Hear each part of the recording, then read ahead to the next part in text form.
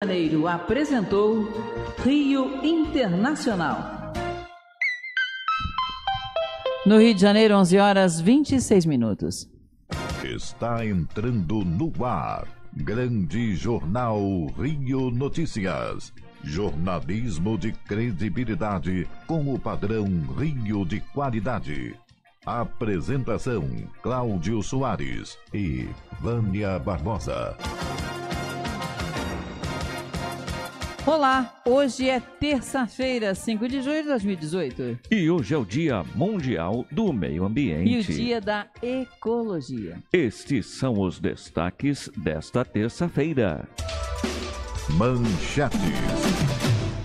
Detran Rio prorroga prazo de vistorias para veículos com placas de final 0 e 1. Tribunal de Justiça derruba o novo piso de enfermagem no Rio. Câmara dos Deputados discute marco regulatório para transporte de cargas. Comitê da crise será mantido para monitorar fake news nas eleições. Arábia Saudita começa a emitir carteira de motorista para mulheres. E a ONU pede restrição de sacolas plásticas para evitar a contaminação de oceanos. Grande Jornal Rio Notícias locais. A Corregedoria de Polícia Civil prendeu nesta segunda-feira quatro pessoas em flagrante por corrupção ativa, corrupção passiva e porte ilegal de arma de fogo. Entre os presos estão dois agentes da instituição que não tiveram o nome divulgado. Segundo os policiais, dois homens foram abordados pelos agentes na BR-493, em Sapucaia, levando uma carga de caixas de sabão em pó falsificado. Para não serem presos, eles ofereceram 20 mil reais em dinheiro aos policiais civis, combinando a troca de dinheiro em frente a um hotel em Três Rios. No momento da entrega, todos foram capturados em flagrante por agentes da corregedoria. Os servidores também vão responder disciplinarmente e podem ser demitidos da instituição. E o veículo leve sob trilhos do Rio de Janeiro completa dois anos com um milhão de quilômetros rodados. Há um ano, 35 mil pessoas andavam de VLT diariamente e hoje o número é de aproximadamente 65 mil. Nesse período, 23 milhões de pessoas foram transportadas pelos trilhos do centro. A obra da linha 3 ficou parada por cinco meses por causa de exigências legais com o Instituto do Patrimônio Histórico e Artístico Nacional, o IPAM. E segundo a Companhia de Desenvolvimento Urbano da região, durante as escavações foram encontrados trilhos antigos que o IPAM estava analisando. A licença foi emitida há duas semanas e a construção retomada. O consórcio espera concluir o traçado até o final do ano de 2018. Devido à greve dos caminhoneiros e os problemas de abastecimento de combustível em todo o estado do Rio, os proprietários com finais de placa 0 e 1 vão ter até o dia 30 de junho para regularizar seus veículos. Aqueles com as placas terminando em 2 e 3 seguem com prazo até o dia 30 de junho. No segundo semestre será a vez do resto da frota. Os veículos com placas com final 4 e 5 vão ser submetidos à vistoria até 31 de julho, seguidos pelos que terminam com 6 e 7, com prazo final 31 de agosto. Por fim, os automóveis cujas placas têm final 8 e 9 terão de ser vistoriados até o dia 29 de setembro. Antes de marcar a vistoria, o motorista terá que pagar o seguro DPVAT, débitos relativos a multas de trânsito e as taxas do serviço de vistoria. O desembargador Cláudio Brandão, do órgão especial do Tribunal de Justiça do Rio, concedeu uma liminar considerando inconstitucional o novo piso de enfermeiros, técnicos e auxiliares da enfermagem. A ação foi movida pela Associação dos Hospitais aqui do Rio e o novo piso foi aprovado na LERJ, após os parlamentares derrubarem mês passado um veto do governador Luiz Fernando Pezão à emenda da deputada enfermeira Rejane. Essa emenda determinou que o piso dos enfermeiros fosse de R$ 3.044,78 por 30 horas semanais de trabalho, o que gerou um alvoroço na rede privada. A maioria das unidades particulares paga esse salário, mas por 44 horas semanais de trabalho. A associação afirmou que o novo piso iria quebrar algumas clínicas e hospitais. No Rio de Janeiro, 11 horas 30 minutos. Cultura e lazer. Olá, Bruna Moura. Bruna Moura, quais são as novidades de cultura e lazer de hoje? A dupla Ana Vitória e o cantor Diogo Nogueira entraram no clima da Copa e lançaram músicas para embalar os brasileiros durante os jogos. A aposta do duo Ana Vitória em parceria com os pagodeiros do Atitude 67 é a mais atual, a começar pelo título de Agora é Hexa. Com 22 milhões de visualizações no YouTube, a música tem menções a Gabriel Jesus, Neymar e outros craques. A, já a música Torcida Brasil, do Diogo Nogueira, traz os arranjos graves que pode até confundir os ouvidos desatentos entre a voz do cantor e do seu Jorge, que também participa da canção. Mas a impressão se desfaz no grito de é gol, que marca o começo da letra. Daí por diante, Cláudio, jargões patrióticos conversam com gírias atuais em um climão de pista de dança, com direito a um momento de baile funk no refrão. E neste sábado, um aulão gratuito de beatboxing vai ser realizado na Praia do PP, na Barra da Tijuca, em frente ao número 930. A iniciativa é do criador do esporte, Moacir Lima, que vai comandar os participantes a partir das 8 horas da manhã. Os interessados devem fazer as inscrições no local antes do início da atividade. Já no dia seguinte, domingo, acontece o quarto encontro dos núcleos da Federação de Boxe de Praia no, no Rio, no mesmo local, onde serão sorteadas cinco cortesias para aulas gratuitas de beatboxing que vão acontecer durante a semana. E neste domingo, também às 8 horas da manhã, acontece o lançamento do projeto Correndo por Eles, na Orla da Barra da Tijuca. O evento visa proporcionar a inclusão social de pessoas com deficiências intelectuais ou motoras e seus familiares em corridas de rua, a fim de promover a socialização, melhorar a autoestima, autoconfiança e bem-estar. Um dos responsáveis pelo projeto, Daniel Sandi, diz que a ação também tem o objetivo de conseguir 20 triciclos adaptados a partir da venda de camisetas promocionais. E para terminar, a, o Barra Blues Festival te realiza a sua quarta edição a partir da próxima sexta-feira. Até domingo, o evento reúne música e gastronomia no Casa Shopping. No primeiro dia de festival, os shows no palco principal acontecem a partir de 6 horas da tarde, no palco principal. Indiana Blue, White Stones e RJ Café são os principais convidados. Já nos outros dias, as atividades começam às 2 horas da tarde. No sábado, Terra Blues, Sérgio Diabo, Ana Egito e Shai Etílico comandam a festa. Já no domingo, State of Blues, For Blues, The Young Brothers Band e o multi-instrumentalista Fred Chico, conhecido como One Man Band, que toca gaita, violão, carrone e panderola simultaneamente e recordará um repertório que vai do rock ao blues. E essas foram as novidades do Cultura e Lazer de hoje. Eu volto daqui a pouco com ciência e tecnologia. Até daqui a pouquinho, Bruna Moura. Até daqui a pouco, Bruna. Previsão do tempo. Rio e Niterói com céu nublado, temperatura estável, umidade relativa no ar 94%. Para amanhã, a previsão é de céu nublado, agora na Ilha do Governador, 25 graus. Grande Jornal Rio Notícias Nacionais. Um juiz do trabalho do Rio de Janeiro determinou a suspensão do processo de venda das cinco distribuidoras de energia elétrica da Eletrobras. A informação foi divulgada pela companhia na manhã desta terça-feira. Elas devem apresentar, no prazo de 90 dias, um estudo sobre impactos da privatização nos contratos de trabalho. A venda da distribuidora havia sido liberada pelo Tribunal de Contas da União no último dia 30. A decisão envolve a Amazonas Energia, Centrais Elétricas de Rondônia, Companhia Energética de Alagoas e a Companhia Energética do Piauí.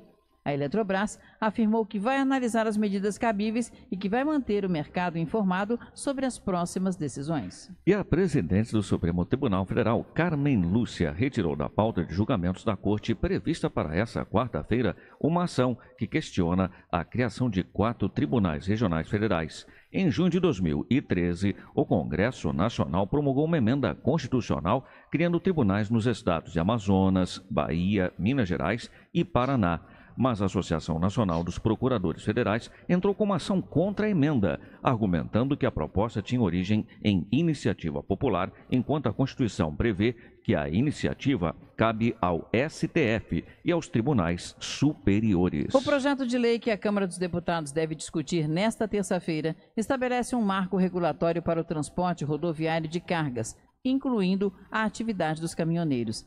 A proposta foi uma das demandas apresentadas pela categoria para encerrar a paralisação em protesto ao aumento do diesel. A paralisação alcançou 11 dias e impactou o abastecimento de combustível e alimentos no país. O governo deu a greve por encerrada na última quinta-feira e, como parte do acordo com os caminhoneiros para pôr fim à paralisação, anunciou uma série de medidas, incluindo a redução no preço do litro do óleo diesel. O presidente Michel Temer também editou três medidas provisórias para atender a outras demandas dos grevistas. O ministro da Segurança Pública, Raul Jungmann, disse que o comitê criado pelo governo para gerenciar a crise dos caminhoneiros será mantido para as eleições deste ano. Segundo Jungmann, a questão envolvendo a paralisação dos caminhoneiros e o desabastecimento no país caminha para os níveis de normalidade, mas o grupo passará a monitorar a disseminação de notícias falsas na internet. A decisão de manter o comitê foi tomada nesta segunda-feira e ele disse que o monitoramento padrão será feito na rede aberta, mas que eventualmente poderão ser feitos pedidos à Justiça para monitorar indivíduos específicos. No Rio de Janeiro, 11 horas 36 minutos. Ciência e tecnologia. Tecnologia. De volta, Bruna Moura. Quais são as novidades de ciência e tecnologia de hoje? Um grupo de cientistas norte-americano testou uma vacina experimental que foi capaz de ativar os anticorpos e eliminou dezenas de linhagens do vírus HIV em camundongos, porquinhos da Índia, inclusive macacos. Os resultados dos testes foram publicados na revista científica Nature Medicine. Para o diretor responsável do Instituto Nacional de Alergia e Doenças Infecciosas, Anthony Fauci, a vacina se baseia em calcanhar de Aquiles do vírus, isto é, um local vulnerável da estrutura do vírus. Com bons resultados, os pesquisadores anteciparam para o segundo semestre de 2019 um ensaio clínico em humanos com a nova imunologia. Já a desenvolvedora tecnológica, a SpaceX, adiou a sua leva de turistas para a Lua este ano, como havia anunciado previamente, e no mínimo vai atrasar o projeto até meados de 2019. O novo calendário de voo ainda não foi publicado e também não foi comunicado as razões do atraso, embora aponte para problemas técnicos e as dúvidas que despertam o interesse do mercado nessas viagens. E falando agora sobre o Facebook, a rede social permitiu que cerca de 60 fabricantes de smartphones, como a Apple, Microsoft, Samsung e BlackBerry, tivessem acesso a grandes volumes de dados dos usuários. Já a empresa de Mark Zuckerberg nega e contraria a publicação. O nível de acesso dado aos fabricantes poderia infringir a legislação que protege a privacidade dos Estados Unidos. O que o Facebook afirma é que acordos entre as marcas existiam, mas diz que foram feitos dentro do que permitia a regulamentação. E para finalizar, o Japão planeja lançar até o início dos Jogos Olímpicos de 2020 o seu sistema de condução autônomo de veículos. A ideia do país é otimizar os transportes durante o evento. Caso o procedimento aconteça, o objetivo é iniciar as vendas até 2022. A iniciativa está sendo conduzida por um, um conglomerado japonês, o SoftBank Group, em conjunto com a General Motors. E fico aqui com as novidades de ciência e tecnologia de hoje. Eu volto amanhã com muito mais para vocês. Até lá. Até amanhã, Bruna Moura. Até amanhã, Bruna. Grande Jornal Rio Notícias. Em dia com a economia. E as cadernetas de poupança com aniversário hoje rendem 0,3715%. Dólar no câmbio comercial, R$ 3,7697 para compra, R$ 3,7709 para venda. E o euro no câmbio comercial, cotado a R$ 4,400 para compra e R$ 4,4021 para venda. Valor do salário mínimo, 954 reais. E a inflação de maio, medida pelo IGPM, Índice Geral de Preços do Mercado, foi de 1,38%. E a Bovespa opera em alta, de 0,23%. Grande Jornal Rio Notícias. Internacionais. O Facebook e a Alphabet Inc., dona da Google, estão sendo processados pelo estado de Washington, nos Estados Unidos, por descumprir uma lei eleitoral estadual. Em um comunicado, a Procuradoria de Washington anunciou que o Facebook e o Google falharam em manter informações obrigatórias sobre anúncios políticos do estado de Washington em suas plataformas online desde 2013. Segundo a Procuradoria, as leis sobre financiamento de campanhas no Estado exigem que os anunciantes que vendem publicidade política mantenham informações sobre quem pagou pelo anúncio. Eles também precisam garantir que essa informação esteja disponível ao público. O secretário de Estado norte-americano Mike Pompeo pediu na Assembleia Geral da Organização dos Estados Americanos que seus membros suspendam a Venezuela do grupo e aumentem as sanções impostas contra o governo de Nicolás Maduro. Pompeu voltou a classificar de farsa as eleições no mês passado, em que Maduro foi reeleito presidente, e disse que o governo já esgotou todas as opções para o diálogo. Mais cedo, os 20 ministros de Relações Exteriores presentes na reunião concordaram em incluir na agenda um tema relacionado com a crise na Venezuela. A Arábia Saudita emitiu carteiras de motorista para mulheres pela primeira vez em sua história. Dez sauditas receberam suas habilitações enquanto o país se prepara para suspender a lei que proíbe as pessoas do sexo feminino de dirigirem. Um comunicado transmitido pelo governo saudita informou que as 10 mulheres que receberam os documentos já tinham habilitação em outros países como Estados Unidos, Reino Unido, Líbano e Canadá. Elas fizeram exames de direção breves e exame oftalmológico antes de receber as licenças do Departamento Geral de Trânsito da capital. O veto será retirado no dia 24 e muitas se preparam para exercer o direito conquistado fazendo cursos de direção.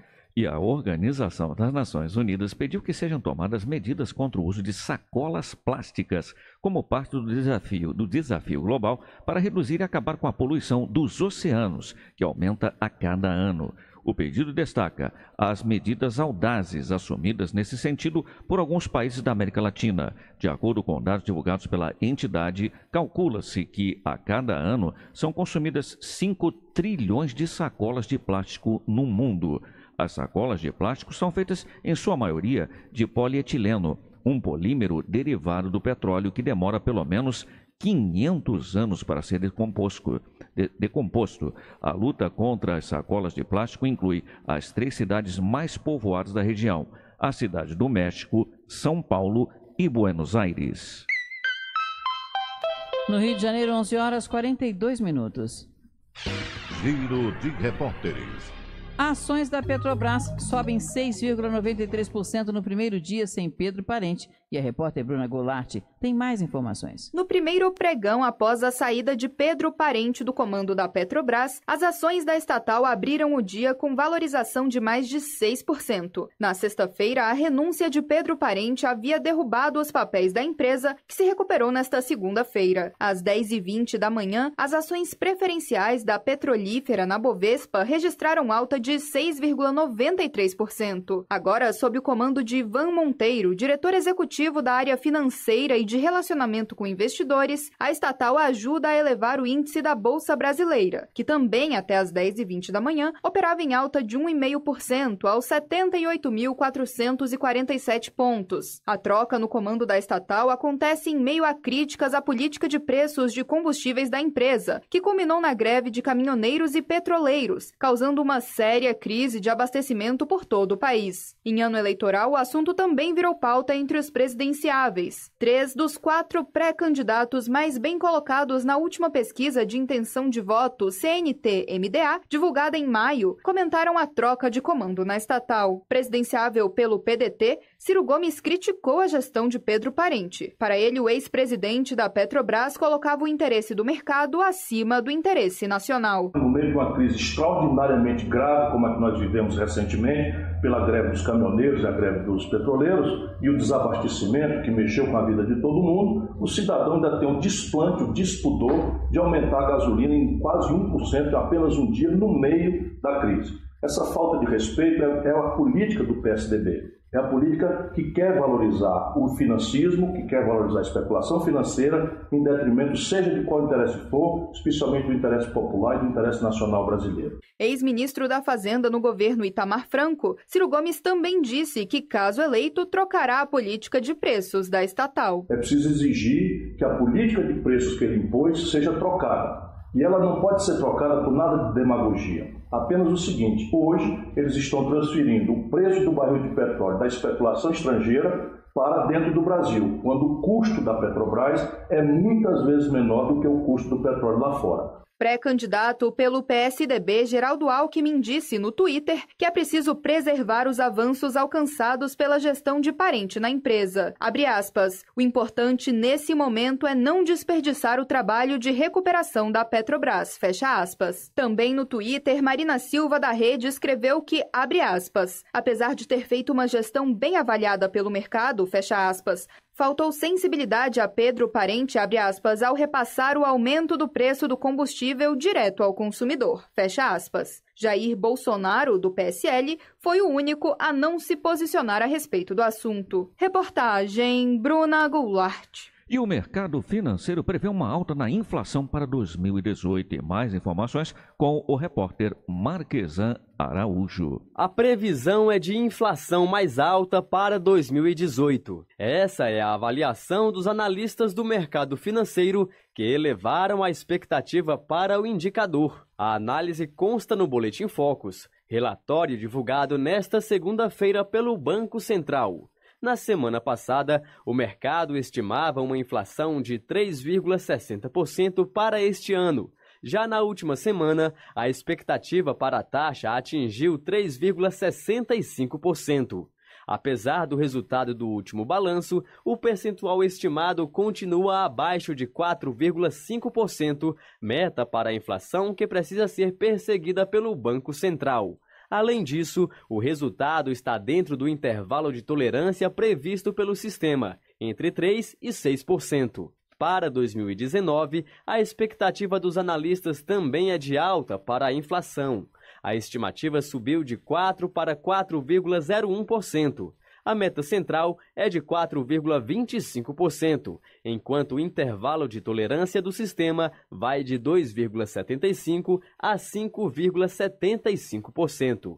Em relação ao produto interno bruto, o PIB, que é a soma de todas as riquezas produzidas no Brasil, os economistas reduziram a previsão de crescimento de 2,37 para 2,18%. O resultado representa a quinta queda consecutiva do indicador. Já a taxa básica de juros da economia, a Selic, continua estimada em 6,5% ao ano. Os analistas acreditam que a taxa permaneça no atual patamar até o fechamento deste ano. Para o fim do ano que vem, a estimativa para a Selic ainda está em 8% ao ano. Reportagem Marquesan Araújo. TSE aprova alterações para aprimorar a resolução que disciplina a criação e extinção de partidos. E o repórter Storni Júnior tem mais detalhes. O Tribunal Superior Eleitoral TSE aprovou alterações que aprimoram a resolução de número 23.465 de 2015. A norma disciplina a criação, a organização, a fusão, a incorporação e a extinção de partidos políticos. Uma das principais mudanças refere-se ao artigo 39, que trata do prazo de vigência das comissões provisórias. Foi fixado em 180 dias o prazo de validade dessas comissões, órgãos provisórios das legendas, salvo se o estatuto partidário estabelecer prazo inferior. A medida é considerada como um meio de ampliar a democracia interna nas agremiações. O novo prazo, contudo, entrará em vigor a partir de 1 de janeiro de 2019, em observância ao princípio da segurança jurídica e de modo a permitir que os partidos políticos tenham tempo razoável após a conclusão das eleições gerais de 2018 para organizar o processo de constituição dos órgãos definitivos. As comissões provisórias são representações temporárias dos partidos, até que eventualmente haja a constituição regular de um dos diretórios efetivamente constituídos, de forma democrática e seguindo as regras do estatuto partidário, promover as convenções para a escolha de candidatos. Entretanto, como usualmente ocorre em muitos municípios e até em estados, os diretórios não existem, razão pela qual as comissões provisórias acabam assumindo o papel de promover as convenções. Reportagem Store de Júnior. Refis das micro e pequenas empresas é oportunidade para micro e pequenos empresários goianos quitarem suas dívidas.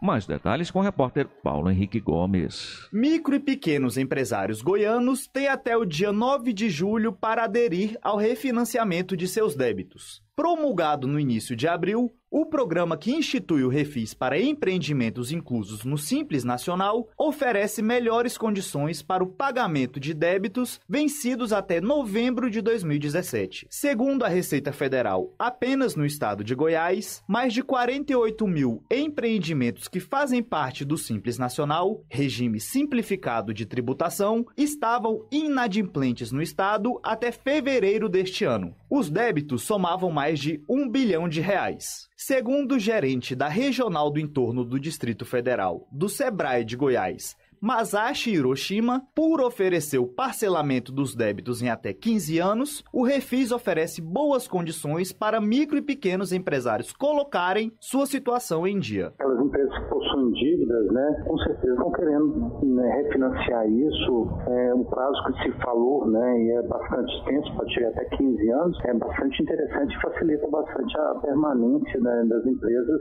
sem dívidas de uma maneira mais fácil de se pagar. O Refis abrange débitos vencidos até novembro de 2017 e exige pagamento de, no mínimo, 5% do valor da dívida total em até cinco parcelas mensais e sucessivas. O restante poderá ser quitado em até 175 parcelas, com redução de 50% dos juros, 25% das multas e 100% dos encargos legais. Os descontos são maiores conforme a diminuição do número de parcelas. O valor mínimo das parcelas para micro e pequenas empresas é de 300 reais. Para o senador Ronaldo Caiado, do DEM goiano, sem o refis, as micro e pequenas empresas ficariam praticamente inviabilizadas de manter suas atividades. Nós tivemos refis para as grandes empresas. As pequenas empresas sofreram até mais do que as grandes empresas. As pequenas e microempresas, elas ficaram quase que inviabilizadas. Foram as que mais abriram oportunidade de emprego. Segundo o Sebrae, mais de 600 mil micros e pequenas empresas de todo o país possuem débitos com a Receita Federal que somam mais de 20 bilhões de reais. Portanto, os micro e pequenos empresários que aderirem ao Refis terão redução nos juros e na multa pelo não pagamento dos impostos impostos, além de extensão do prazo para quitar a dívida. Você, micro e pequeno empresário de Goiás, lembre-se, essa é uma excelente oportunidade para quitar seus débitos. Reportagem Paulo Henrique Gomes. Rio Esportivo. Olá, Adriano Dias e Mirosmar Salles. Adriano e Mirosmar, clubes cariocas conhecem seus adversários na Libertadores e na Sul-Americana. Contem tudo pra gente. Isso mesmo, meu caro Cláudio Soares, Vânia Barbosa, Olá. Mirosmar Salles, ouvintes, todos bom dia. Olá, ouvintes, olá, amigos aqui da mesa. Vamos falar desse sorteio da Libertadores e Sul-Americana. Sim, os dois principais torneios do nosso continente já definiram os confrontos, no caso da Libertadores, das oitavas de final e também da Sul-Americana na segunda fase, que possui 32 equipes. Vamos então especificar os clubes cariocas, que é a nossa especialidade aqui no Grande Jornal, começando pelo, começando pelo Flamengo. O Flamengo, infelizmente, não conseguiu escapar de um confronto brasileiro. Vai ter que encarar logo o Cruzeiro. Os jogos vão acontecer em agosto. O primeiro jogo é no Maracanã, já que o Flamengo terminou na segunda posição, e o outro jogo no Mineirão, repetindo, repetindo o cronograma da final da Copa do Brasil, que foi vencida pelos mineiros em 2003 e 2017 da mesma maneira. O que esperar, o que esperar esse confronto em Mirosmar? Muito equilíbrio. O, o Cruzeiro foi muito bem na fase de grupos, ganhou do Vasco no Rio de Janeiro, né? Já tem uma experiência de jogar no Rio na Libertadores desse ano. Sim. E o Flamengo, o que dificulta é porque ele passou no grupo dele tudo, mas só ganhou do Emelec, né? Exato, ganhou os dois jogos. E também, Mirosmar, é, você falou agora, eu levantei a questão do favoritismo, mas também tem que levar em consideração que de julho, de junho pra cá, muita coisa pode mudar. E em Nas agosto a duas partida até. Os jogos vão acontecer em agosto. Dia datas- 8 e 29. É 8 e 29 os, ah, os horários ainda não foram divulgados pela Comebol, mas ainda assim requer muita atenção o como os clubes vão se movimentar nesse período de pausa de- durante a Copa do Mundo. Falando rapidamente dos outros confrontos entre, Brasi- na- entre brasileiros na Libertadores, teremos também Independente e Santos, Estudiantes e Grêmio, Colo-Colo e, Colo-Colo e Corinthians, Cerro Portenho e Palmeiras. Esses são os confrontos envolvendo brasileiros. As outras partidas têm o clássico argentino entre Racing e River Plate e Boca Juniors e Libertar. Podemos dizer Além que... do Atlético de Tucumã e Atlético Nacional de Medellín. Isso, isso mesmo. Eu ca- acabei pulando aqui, estava aqui na minha. Bem lembrado, Mirosmar. Diga- podemos dizer que essas, os dois clássicos brasileiros, né? É, dois clássicos, Racing River Plate e Flamengo e Cruzeiro, são os principais confrontos dessas etapas de final, né? Correto. E também é até interessante o confronto entre Estudiantes e Grêmio, porque o Estudiantes, mesmo lutando com aquela força toda, é um time argentino que gosta e sabe jogar Libertadores. Então é um perigoso pro Grêmio até. Com certeza. Agora vamos abordar a Copa Sul-Americana, já que temos Vasco, Botafogo e Fluminense interessados nessa competição. O Vasco que entra nessa fase, já que ficou na terceira posição no seu grupo na Libertadores e vai ter logo pela frente a Lenca Deportiva Universitária, a LDU, tão conhecida aqui entre nós cariocas, principalmente o torcedor- a torcida do Fluminense, já que a LDU ganhou uma Sul-Americana diante do Fluminense em 2009, ganhou a Libertadores. Libertadores em 2008. O primeiro jogo vai ser lá em Quito e o segundo aqui no Rio. O Botafogo vai ter um confronto contra o Nacional do Paraguai. Esse a gente desconhece como está, a gente desconhece como está a situação da equipe deles no campeonato local. O primeiro Ele vai jogo recrutar um ex-jogador do clube, o Salgueiro. Sim, sim. O primeiro jogo é lá no Paraguai e o segundo aqui no Rio. O Fluminense é que vai decidir o jogo, a sua vida na competição fora de casa. O Fluminense vai pegar o Defensor do Uruguai. O primeiro jogo vai ser no Maracanã e o jogo de volta lá no Uruguai. De fato, assim, dessas três equipes, eu acho que o Vasco é que tem um confronto mais indigesto, né? Eu acho que nenhum dos confrontos são fáceis. Mas tem outro detalhe também. O Fluminense e o Botafogo caíram no mesmo lado do sorteio. Pode se cruzarem numa semifinal, se der tudo certo. E o Vasco só enfrenta o Fluminense ou o Botafogo numa final. Aliás, falando em confrontos entre brasileiros, o Botafogo já pode ter um brasileiro já na próxima fase, já que o Bahia enfrenta o Cerro nessa próxima fase, já nas oitavas de final.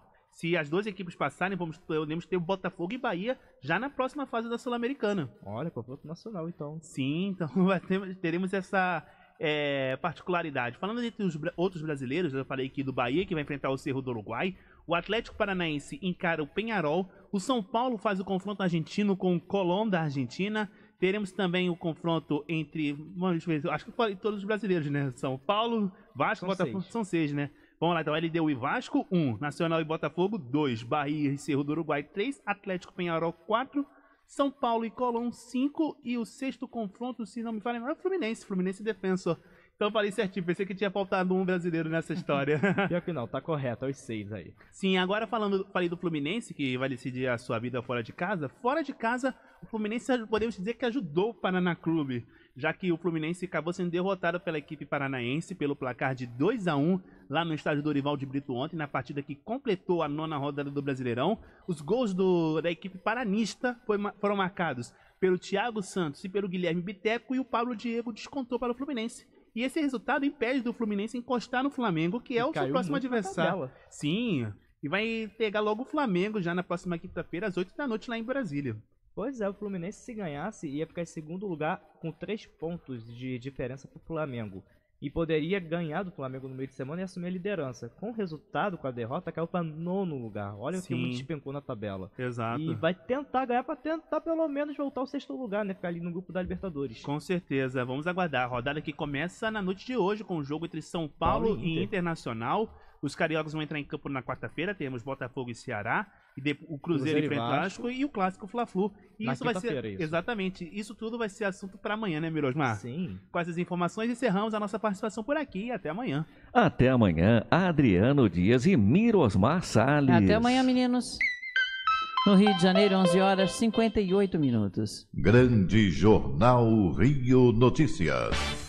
E estes foram os destaques de hoje. Detran Rio prorroga prazo de vistorias para veículos com placas de final 0 e 1. Tribunal de Justiça derruba o novo piso de enfermagem no Rio. Câmara dos Deputados discute marco regulatório para transporte de cargas. Comitê da crise será mantido para monitorar fake news nas eleições. A Arábia Saudita começa a emitir carteira de motorista para mulheres. E a ONU pede restrição de sacolas plásticas para evitar contaminação de Grande Jornal Rio Notícias.